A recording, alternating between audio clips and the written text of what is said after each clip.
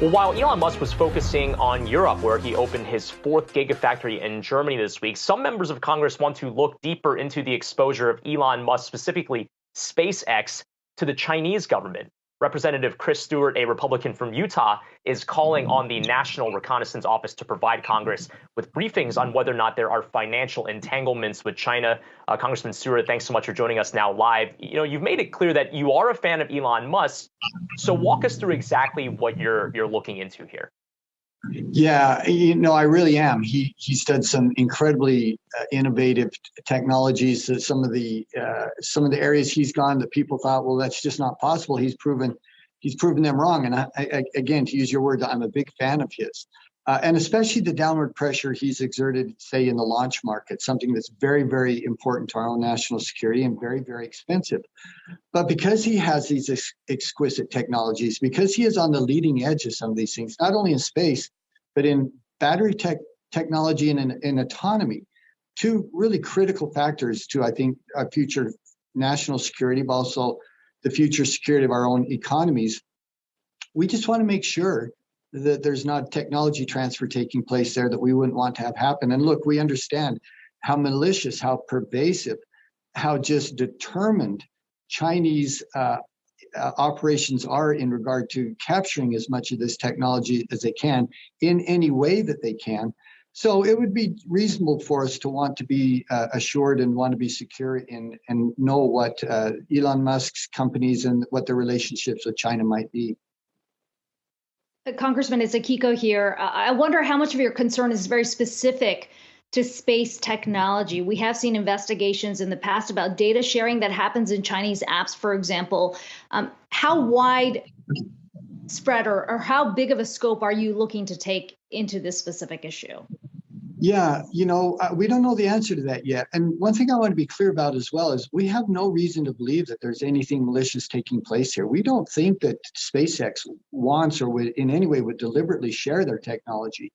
And in fact, they've been a, a good uh, a good U.S. citizen here. We know that there was some efforts by Chinese operatives to gain access to SpaceX. That they wanted to be some investors. They tried to do that through third parties so that it wouldn't be obvious who they were when SpaceX leadership became aware of that, they turned that back. They said, no, we're not interested in doing that.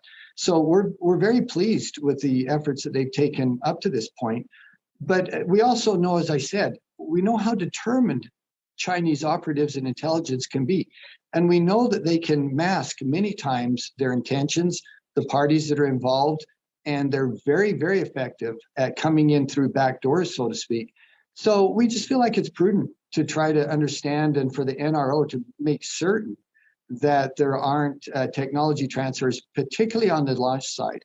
Although I don't think we can minimize the technologies in, in batteries and in, again, innovative technologies regarding autonomy. Those are also important. Although our focus initially with the NRO will be on the launch in the space side. Uh, Congressman, I guess kind of a simple question here. Why call in the National Reconnaissance Office instead of uh, SpaceX or Elon Musk directly? Yeah, well, and we've had conversations with them and, and we've been satisfied with those conversations to date. But NRO, of course, is a third party.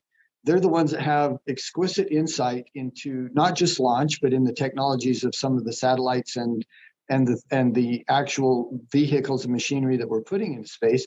And so we feel like they have access and they have some insights that would be valuable to us. That uh, you know, in some cases, even the even the private contractors may be unaware of. So they're a pretty good referee and have, a, a, again, a lot of insights that we, we just hope to take advantage of. And specifically, I mean, what happens if you do find, as you've described it, entanglements with the Chinese government yeah. that raises red flags for you? I mean, we've seen uh, Congress, for example, take action through the Forced Labor Prevention Act, which essentially says companies cannot source from a place like Xinjiang. I mean, do you see a way to address these concerns through legislation or something else? Well, and, and hopefully we wouldn't have to do legislation because we know how long that would take. And there would be great urgency if we were discovered that there were entanglements. Once again, I don't think that there are. The evidence isn't isn't uh, indicating that we uh, that we have great concerns there. But we have to be persistent in in our oversight. And in our expectation that China is going to do everything they can and they're not going to try once and just give up. They're going to try again and again and again. So we need to be constantly alert and constantly aware. That's what this effort is about. Now, to your question, well, what would we do? It would depend an awful lot on what those entanglements or what those relationships were. Uh, but we think that there's a framework already in place that would that would allow us to deal with that. And honestly, I don't think SpaceX would be difficult to work with. They don't want those entanglements. They don't want those types of t- technology transfers. And I think they would be very willing to work with the U.S. government in order to, if those were discovered, in order to sever those relationships. Uh, Congressman, I want to put that issue to the side here and just kind of talking about uh, an issue that I'm sure is uh, pressing for every single district around the country, and that is, of course, inflation. We know energy prices specifically have been definitely hurting Americans. Uh, what are you seeing in your district in Utah? Uh, what are constituents telling you about inflation? We know that there's been warnings from the Biden administration that this whole Russia Ukraine conflict uh, could further exacerbate prices.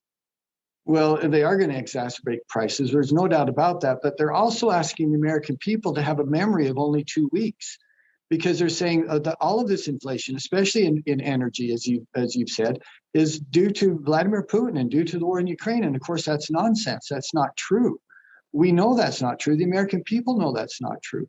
They know the steps that the Biden administration took to confine and to restrict American oil and gas exploration and development. That's taken place for 15 months now. And look, if you if you live in the city and you're and you're well-to-do and someone picks you up in a car and you haven't filled up a gas tank yourself in a long time, you don't worry so much about the price of gas being five dollars or more. But if you're a young family, like my kids, for example, who are just starting their careers, they have young children, it's a big deal to them. It's a big deal to people on fixed incomes, to for people living on Social Security, for example. It's a big deal for our working poor. And you just can't minimize how regressive this is, the impacts this has on the poorest among us. And it's not just fuel, it's across the board, but particularly the things that most of us need fuel, housing, and food. Those are the ones that we've seen the, the, the, most exaggerated uh, impacts on on inflation and those are things that people need for just survival and it's look, it's it's an enormous stress on American families, and the administration has got to recognize it in ways that they just haven't been willing to at this point. Uh, Congressman, it's worth pointing out that you've got close ties to the oil and gas industry. Obviously, big donors to your campaigns in the past. Uh, there, this there is a debate right now that's happening about whether, in fact, it needs to be one or the other more drilling or more renewable energy. And we heard from Energy Secretary yeah. Jennifer Granholm this morning at the IEA ministerial meeting saying this is not about one or the other. It can be binary, two sides can move together. Do you agree? Yeah, I do. And, and my record indicates that. And, and by the way, you indicate that I have ties to oil and gas. I do. Well, that's because they're here in the state. They're an important part of our economy. I want to support that. And as I've indicated already, it's important for the American economy and for the American people to have as inexpensive fuel as, and energy as we can. But I, I have also, for example, I led the way to, to allow for development of solar and wind on federal lands. That's one of the first initiatives I took on in Congress. So I'm very proud to take you a place in the central part of my district where you can climb up on top of these enormous uh, windmills. I can point to you from there a solar farm that was produced on federal lands that we cleared the way for. We've got uh, $500 million in funding to the University of Utah for geothermal exploration and development. They will be one of the leading uh, technology and research centers in geothermal in the entire world because of that. So I agree with, with the secretary and with what you just proposed. It doesn't have to be one or the other. We should move toward green energy as much as we can. But in the interim, we can't turn away from the absolute necessity now of carbon based fuels while we try to develop some of these other opportunities. Congressman Chris Stewart uh, joining us from Utah this morning. Really appreciate the time.